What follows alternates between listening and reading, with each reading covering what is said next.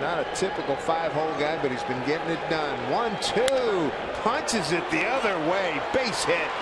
One run's going to score. Here's the throw from Cruz to the plate. Iannetta catches, and they get the runner out. Good sportsmanship right there. Uh, no harm, no foul on that collision. We got a tied ball game. 1-1.